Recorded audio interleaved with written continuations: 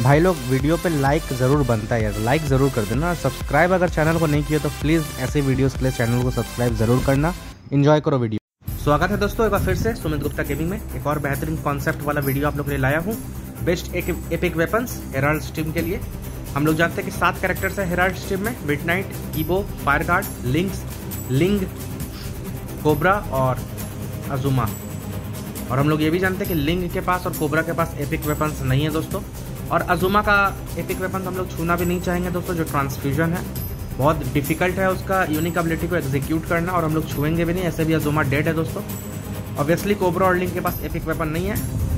Fourth most मेरे ख्याल से जो एपिक वेपन होगा हेराल्ड्स में, वो फायर गार्ड का होगा दोस्तों। थर्ड में एसएससिन लेगेसी होगा।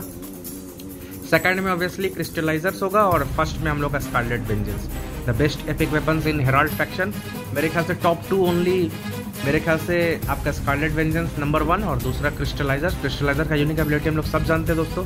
कि अगर ब्लिंक मूव में कोई अटैक करता है ओपोनेंट तो वो फ्रीज हो जाएगा। चलते हैं हम लोग गेम प्ले की तरफ़ दोस्तों। शुरुआत हम लोग सबसे वर्स्ट एपिक वेपन से करेंगे दोस्तों, जो कि फैंटम कैटलिस्ट होगा फायर गार्ड का। और पहला अपोनेंट है मैक्स लेवल का वीरा ये एक बहुत बड़ा कैंपर है दोस्तों, शुरुआत उसने मंकी किंग के से किया है फ्लॉलेस जेड वेपन के साथ। देखते हैं इस कैंपर को हम लोग हरा पाते हैं कि नहीं फायर गार्ड से। हम लोग ने फैंटम कैटलिस्ट यूज़ किया है। बाकी पेनफुल बंस वाला बिल्ड हम लोग ने लिया है दोस्तों। Earth on fire raging flames effective flame thrower shadow flames और पेनफुल बंस यहाँ बहुआ लगता है नेचर्स कॉल ले रहा था दोस्तों। शायद उसे रगड़ने से पहले हल्का होना था। मेरा शेडो मूव मैंने मिस कर दिया है।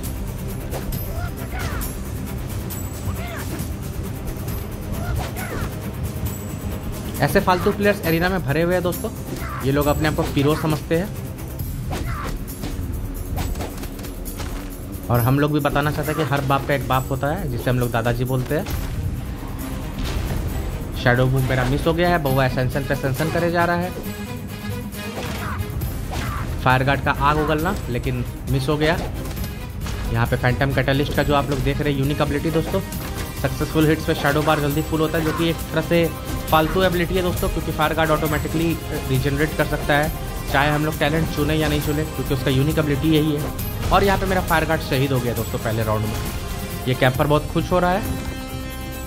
आले ले बउआ को गुस्सा आ गया। बउआ इमोट करता है। अच्छा बउआ बताते हैं तुमको अगले राउंड में। राउंड टू की तरफ़ चलते हैं दोस्तों। मंकी किंग अच्छे से संतरा खा रहा है। बोल रहा है कि संतरा खा रहा हूँ मैं, लेकिन आज हारूँगा। फाइट उसका एसेंशियल मूव कनेक्ट हो गया, छह डैमेज के साथ। बैक अटैक कनेक्ट हुआ बेसिक अटैक कनेक्ट हुआ। शेडो बार फुल है मेरा।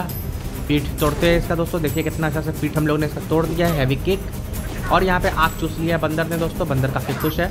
बोल रहा है संतरा के बाद मुझे इतना अच्छा आग मिलने के लिए आपका बहुत बहुत धन्यवाद। और यहाँ पे बेसिक अटैक ने उसका हैवी अटैक जो स्पेशल मूव है वो मिस कर दिया और यहाँ पे ये बंदर पहले राउंड में हार गया है दोस्तों। मेरा कहने का मतलब है मेरे पहले राउंड में? चलते हैं आखिरी डिसाइसिव राउंड की तरफ़ दोस्तों। बउआ काफ़ी खुश हो रहा है। ये हम लोग का राउंड थ्री होगा। एक्टिवेटिंग पोस्ट लिंक्स का एपिक वेपन के बारे में हम लोग सब जानते हैं दोस्तों। यूनिक एबिलिटी उसका केट के नेवर सरेंडर टैलेंट जैसा है। थर्टी परसेंट पे डेमोनिक प्रिंस का एबिलिटी एक्टिवेट होता है, जिससे वो हेल्थ रिजनरेट कर सकता है। मेरे ख्याल से वो एक तरह से यूजलेस वेपन ही कह सकते हैं हम लोग दोस्तों। वही है कि इमरजेंसी में आप लोग को सेव करेगा वो, क्योंकि हेल्थ रिजनरेट कर सकता है। वैसे भी हम लोग सब जानते हैं कि लिंक्स का डिफेंस बहुत कमज़ोर है। यहाँ पे मेरा फायर फ्लेम थ्रो जो है मिस हो गया।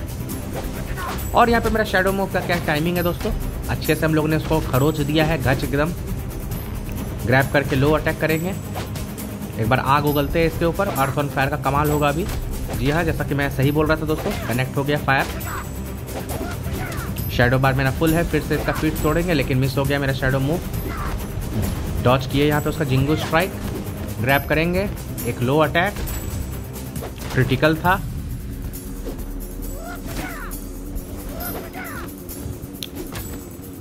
बैक अटैक बेसिक अटैक और यहाँ पे ये बंदर और ये अपोनेंट हार गए दोस्तों. सारी हिकड़ी हम लोगों ने निकाल दिया. अले ले बवा को गुस्सा आ गया. बवा की वो इमोट कर रहा है. बवा हार गया. चलते हैं एक और अपोनेंट की तरफ़ दोस्तों। इस बार लिंक्स का एसेसन लेगेसी होगा हम लोग के साथ। अपोनेंट है अभी तो जो ट्वेल्व का अजूमा के साथ है। Long term neutralisation total lockdown painful neutralisation shadow suppression और सप्रेसिंग एक्सप्लोजन टैलेंट के साथ। फाइट बेसिक अटैक से मैंने शुरुआत किया है। बॉम्ब स्पेशल अटैक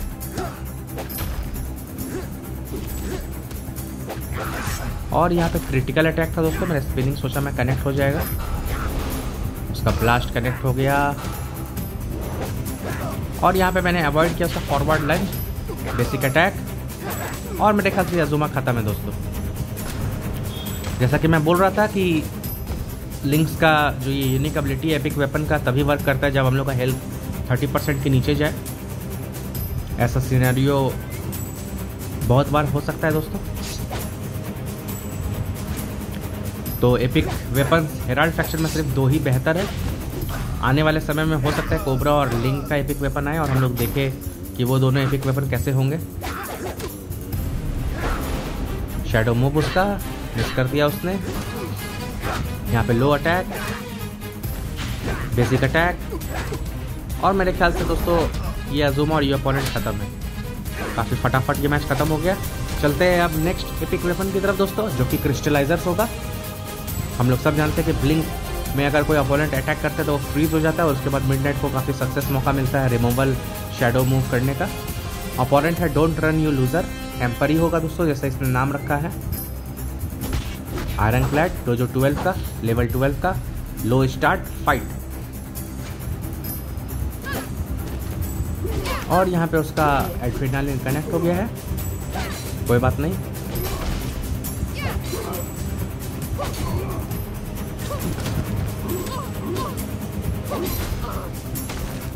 अगर प्लेयर्स शिफ्ट स्पैम ना करे दोस्तों मिडनाइट का तो काफ़ी अच्छा हीरो है। और आज मैं एक अपोनेंट से हार गया मैक्स लेवल का अपोनेंट था डोजो थर्टीन का।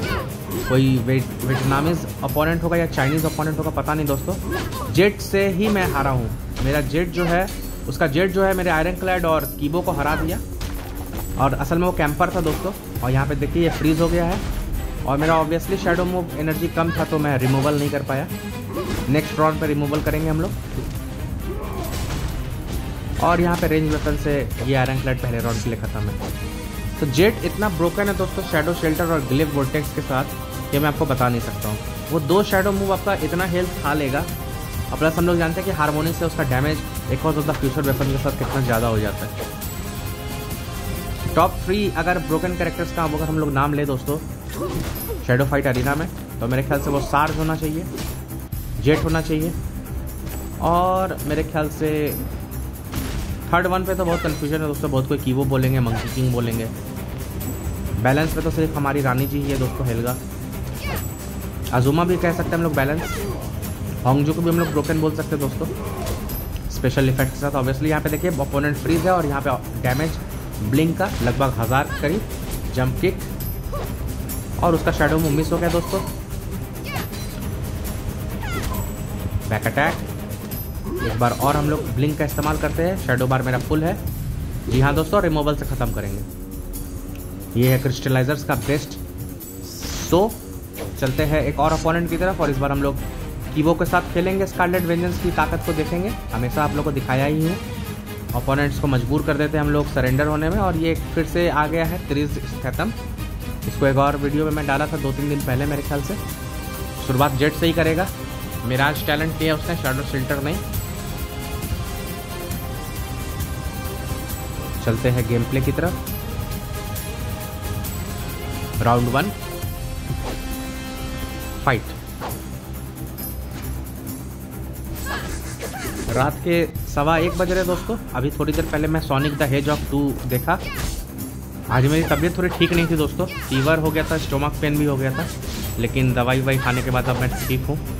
तो दन ट्रिक यहाँ पे मिस हो गया है। लो अटैक जेट का uncounterable basic kick back kick basic attack spinning attack thousand cuts और यहाँ पे ये जेट खत्म है राउंड वन के लिए। चलते हैं उसके अगले हीरो की तरफ़। मेरे ख्याल से लिंक को ही चुनेगा दोस्तों। फ्लॉलेस विक्ट्री काफ़ी सोच रहा है। Shadow flask flask throw flask of concentration powerful slash और सदन ट्रिक टैलेंट के साथ। राउंड टू फाइट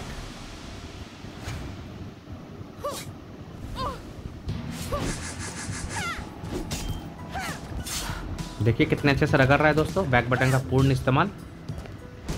यहाँ पे हॉप करके ग्रैप करेंगे, एक हैवी घुसाएँगे। कीबो का स्पिनिंग अटैक का जो रेंज है दोस्तों, वो दो तीन अपडेट पहले नर्फ हुआ था। जैसा कि हम लोग सब जानते हैं, उसका शेडो मूव कनेक्ट हुआ है। लेकिन फिर भी हम लोग मजबूर करेंगे दोस्तों इसको सरेंडर करने पे। फ्लास्क थ्रोस का मिस हो गया ग्रैप करने का मौका। मेरा शेडो बार फुल है। सदन ट्रिक करने की कोशिश करते हैं और यहाँ जी यहाँ कनेक्ट हो गया। Range weapon jump kick spinning attack चलिए एक बार थाउज़ेंड कट्स